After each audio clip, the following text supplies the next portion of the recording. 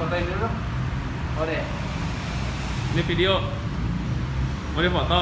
eh video ini Yo, selamat datang lagi di channel gua. Thank you yang udah nonton, thank you yang udah subscribe, thank you yang udah mampir di sini ya. Eh, ya, selamat datang lagi nih. Kondisi terakhir motor gua belum 100%.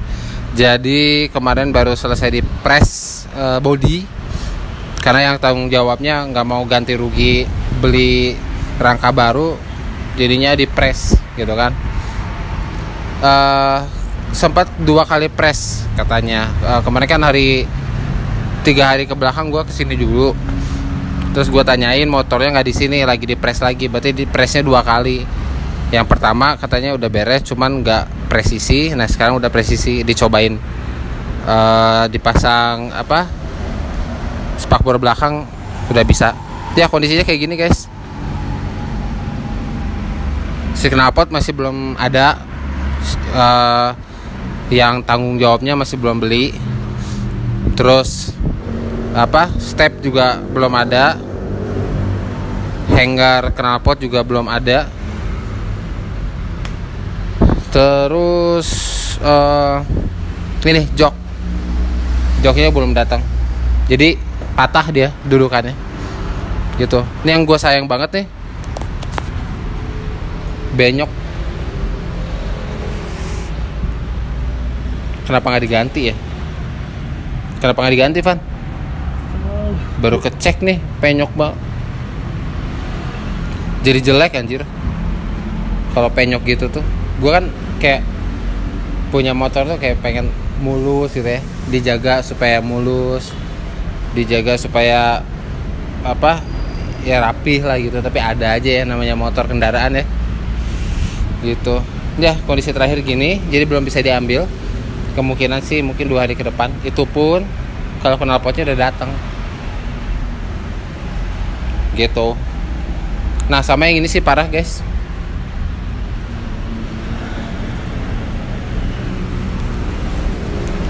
Kupling akosatrot gua. Kupling akosatu gua lihat deh. Dia apa ya kalau bahasa Sundanya itu bingkang. Kalau kalau bahasa Indonesia itu apa? Bengkok ya? Nih ini bengkok guys lihat ada kerutan kerutannya bengkok. Nah gitu. Ini sementara yang gua baru cek ya. Belum bisa dijalanin belum bisa bawa keluar. Itu ini juga jadi kerasnya jadi keras tapi apa ngaruh ya ke sini kok ini jadi jadi keras gitu. Ini juga nih ini bekas oli loh lihat deh. Ini bekas oli loh. Nih. Eh tuh. Dulu bersih loh. Ini dioliin. Nggak tahu buat apa tuh. Ya kan kelihatan ya? Ntar gue tanya ke teknisinya. Gitu sih sementara kalau nyala sih bisa dia nyala tuh. Aman ini gua domino gua guys. Jadi hitam oli aja tuh. Jadi hitam oli anjir. Ngopi lagi gua. Udah sih sementara ini ini nih pelaknya udah ya harus dicat ulang nih sebelah situ juga sama cat ulang. Nah guys mumpung ya mumpung kondisi seperti ini kita ganti apanya nih gitu kan? Modif apa nih? Spakbor belakang oke kita hilangin. Terus eh, kenapa tuh? Udah hanger. Underbone udah cukup. Paling spakbor depan kali ya. Iniin aja eh, tulis komen mau ganti apa biar ganteng lagi gitu. Ya Pan? rencananya sih gue mau ganti stripping. Ini gue lagi mau mesen stripping yang tahun 2019 biar fresh gitu. Jadi tampang baru. Itu lumayan loh 300 lebih harganya. Cuma apa gue pesan aja. Baru kecek radiator bocor. Berarti berarti ini belum general check up ya? Ini belum di general check up. Tuh ini masih dibongkar-bongkar eh masih belum apa dipatenin gitu radiator radiator bocor gimana tekan apa gimana ya? bisa bocor begitu radiator Coba eh, kasih tahu ini tanggung jawabnya gimana, segala macam segala macam banyak ada yang nanyain kan? Oke. Sejauh ini sih gue baru dari semenjak kecelakaan gue baru sekali ngontak yang tanggung jawab. Cuman responnya kurang bagus. Gue chat dari jam 10 ya pagi dibalasnya besoknya. Besoknya pun siang gitu kan. Dan itu pun singkat gitu. Pokoknya nggak kooperatif banget yang apa yang tanggung jawab. Cuman dari awal kenapa ini motor bisa di sini di bengkel resminya karena dia udah DP 700.000 ribu dari total eh, dari total apa ya dari total taksasi awal tuh bukan taksasi kok taksasi? Dari perkiraan eh, seluruh biaya tuh 1,5 sampai 2 jutaan. Gitu. Dia baru bayar 700.000 ribu. Gitu. Terus gua chat juga ke ownernya yang yang punya perusahaannya sama nggak dibaca-baca.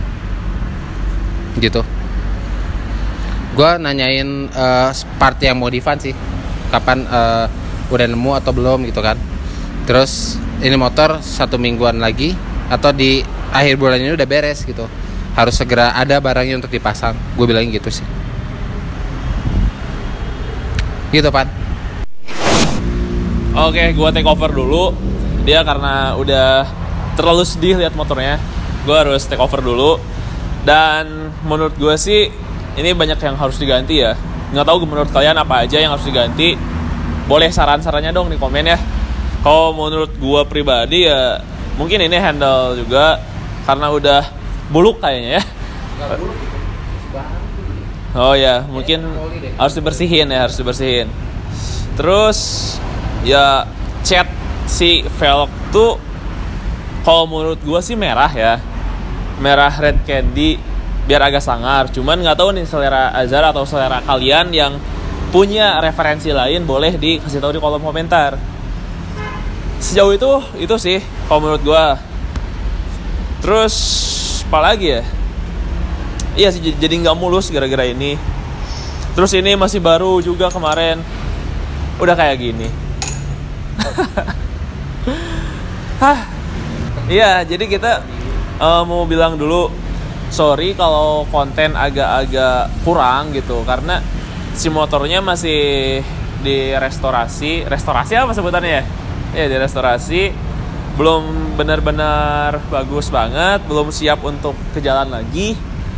Dan sebenarnya ya konten-konten lainnya udah kita siapin, cuman agak terhambat gara-gara ini sih. Ya, sorry aja ya guys ya. Oke, mungkin segitu dulu dari kita berdua. Makasih udah nonton, jangan lupa like, share, and subscribe karena kita terus banget butuh dukungan kalian. Biar motornya juga oke lagi ya. Dan ya, jangan lupa jangan skip iklan. Oke, bye. Thank you.